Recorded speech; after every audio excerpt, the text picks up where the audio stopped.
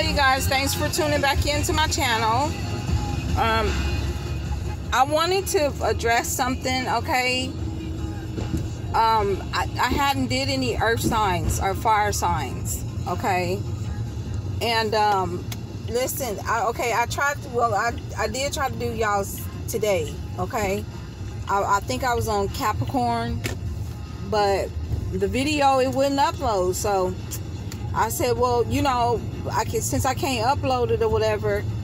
You guys, listen. This is this is what I can refer y'all to. There's a tarot card reader on on YouTube. His name is Seven Tarot, and they had a Capricorn read. He he had put up a Capricorn read that was kind of similar to to y'all's read. So if y'all want to go check him out over there at Seven Tarot Okay, he got some messages over there for y'all.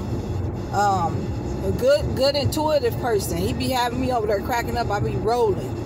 Okay, so y'all go over there, check him out. It's called Seven Tarot. And uh, he, he probably got some messages over there for the earth signs, Capricorns, and you know, because I mean, I tried to upload y'all video, but it, it won't let me upload it. And the fire signs and the earth signs. And I, I said, well, maybe I can upload it in a couple of days or whatever. So uh, yeah, y'all go over there and check those those reads out. Uh, Capricorns, uh, they got good reads over there for y'all. Uh, Virgo, he, he's a very good intuitive person. So y'all could probably get some of y'all messages from over there too.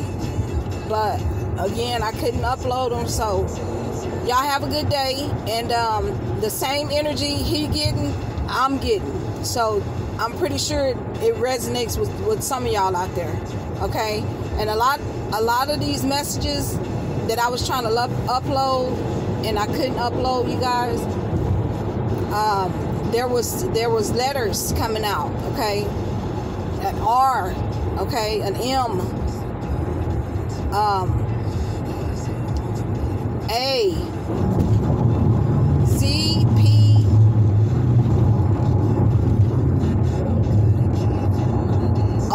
and some other letters. Okay, so those are the letters that I had got uh, in in my read that I was doing for y'all. And then you know y'all may want to go over there and check out Seven Tarot because he got some more information over there for y'all too. Okay, y'all have a good day.